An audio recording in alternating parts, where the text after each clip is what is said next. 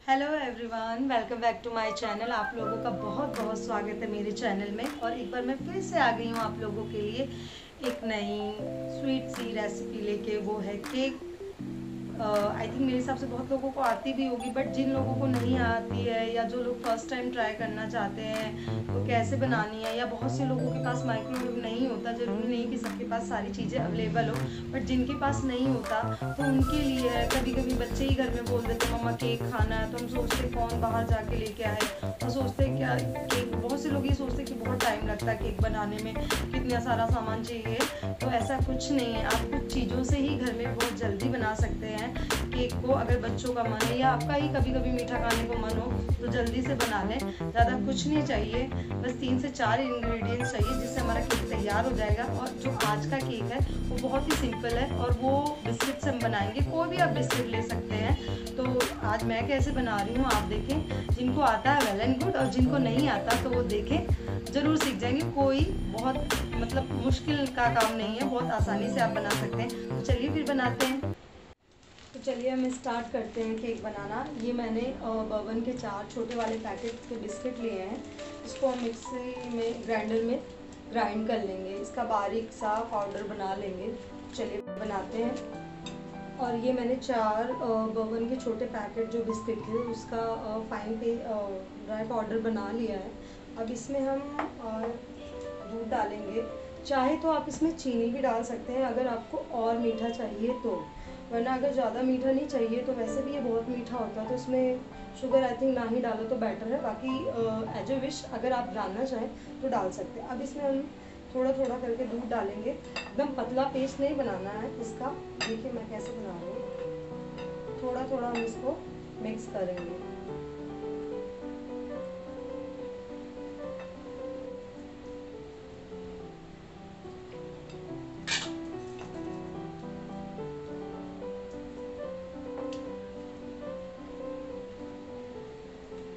थोड़ा सा हम इसमें और दूध डाल देते हैं थोड़ा सा ज़्यादा नहीं।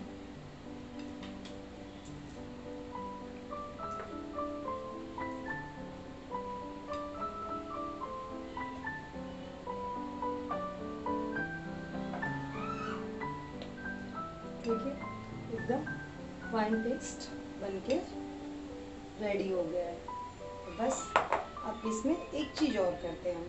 देखिए, मैं आपको बताती हूँ क्या करना है। हम क्या करते हैं, इसमें इनो डाल देते हैं और फिर रख देते हैं। तो इतना अच्छा नहीं बनता, आपको लेना है ये, और इससे कम से कम पाँच मिनट तक अच्छे से इसको मिक्स करना है। इससे ये इतना स्पंजी और फ्लफी बनता है कि आप खुद ही देखें, बहुत ही अच्छा केक बनता है।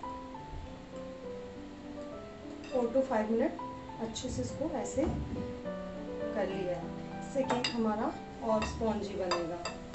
अब हम इसमें इनो पाउडर डाल देंगे। इनो डालना है इसमें जो छोटा पैकेट आता है सिक्स या सेवन रुपीज़ का आई थिंक फाइव ग्राम होता है उसमें तो आप वही डालें। उसको मिक्स कर लेना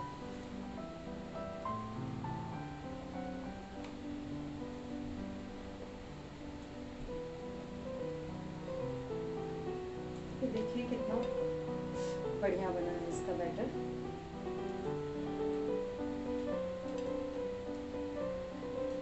बस इसको रखते हैं और इसको अब हम गैस पे कढ़ाई रख दी है। प्री हीट के लिए इसे पाँच मिनट पहले ही रख दो मीडियम आँच पे, ताकि थोड़ा सा गर्म हो जाए तो ज़्यादा बढ़िया रहता है। अब हम केक को केक बाउल में डालते हैं। इसको हम पहले। ऑयल से ग्रीस कर लेंगे। अच्छे से ग्रीस करना है। ये देखिए। इससे हमारा केक चिपकता नहीं है। अब इसमें हम ये बटर पेपर जो कि इजीली मिल जाता है आपको मार्केट में, ये हम इसको ऐसे लगा लेंगे। एंड देन उसके बाद हम एक बार फिर से इसको ऐसे ग्रीस कर लेंगे अब हम अपने बेटर बैटर को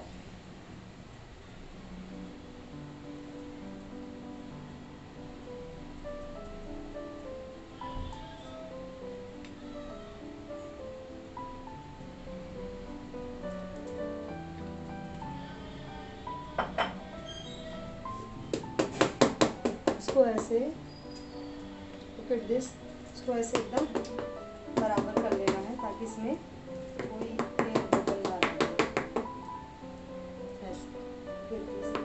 चलिए। तो फाइव मिनट हो गए हैं। अब हम इसमें, अभी हम स्टैंड इसके अंदर यूज़ करेंगे और इसको हम ऐसे रख देंगे। देन ये ऐसे इसके बाद इसको हम अच्छे से कवर कर देंगे। और इसको थर्टी मिनट्स के बाद एक बार आपको चेक करना है। अगर नहीं होता तो इसको फाइव टू टेन मिनट और रख सकते हैं। वो तो आप चेक कर लेंगे नाइफ से या किसी से भी आप चेक कर लो, आपको पता चल जाएगा जब केक बन जाता है। और इसको हाई फ्लेम पे नहीं मीडियम फ्लेम पे करना है। ये मैंने मीडियम फ्लेम कर रखा और इस पर ये थर्टी से फोर्टी मिनट रख देते हैं। उसके बाद थर्टी फाइव मिनट हो चुके हैं। और अब हम इसको चेक करते हैं, चलिए।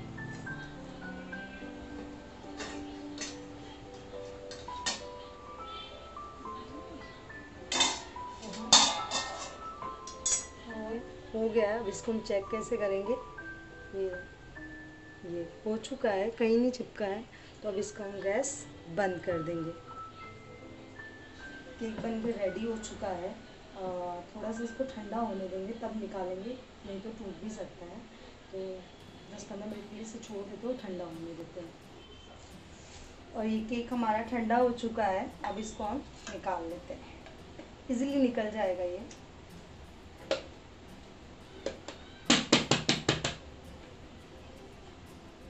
लुक एट दिस निकल गया ये। और इसका ये बटर पेपर है जो हम निकाल लेंगे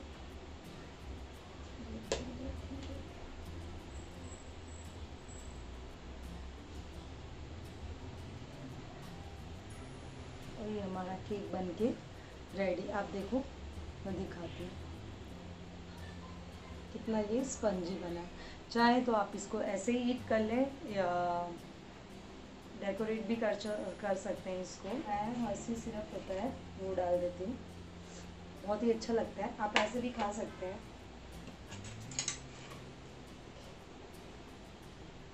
वाह। Look at this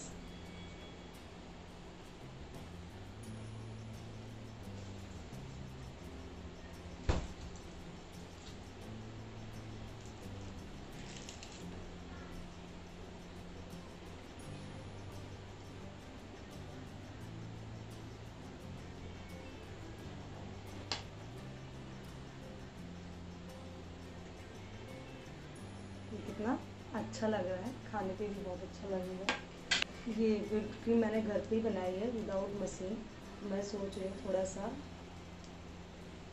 डेकोरेट करूँ इसको। अगर आप भी जानना चाहते हैं कैसे विदाउट मशीन हम बना सकते हैं इसको तो कमेंट बॉक्स में मुझे कमेंट करिए। देखिए।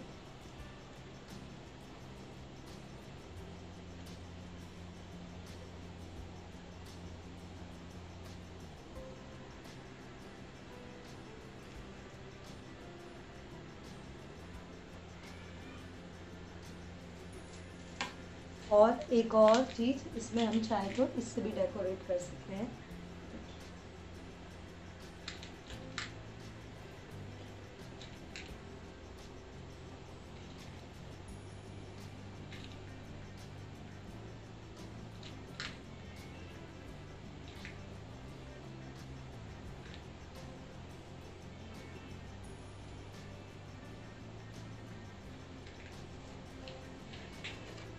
ये मेरा केक बन के रेडी कैसा लगा आपको ये केक? आ, अगर अच्छा लगा हो तो कमेंट बॉक्स में ज़रूर कमेंट कीजिए। मैं और भी तरह के आपको केक बताऊँगी केक की रेसिपी लेके आऊँगी। हाँ तो कैसी लगी आप लोगों की मेरी रेसिपी अच्छी लगी तो लाइक ज़रूर कर देना। हाँ और सब्सक्राइब भी जिसने नहीं किया है उसके लिए। तो जल्दी जल्दी बनाओ बच्चों को खिलाओ और अगर खुद का मन है तो भी खाओ। तब तक के लिए बाय बाय मिलते हैं नेक्स्ट वीडियो में।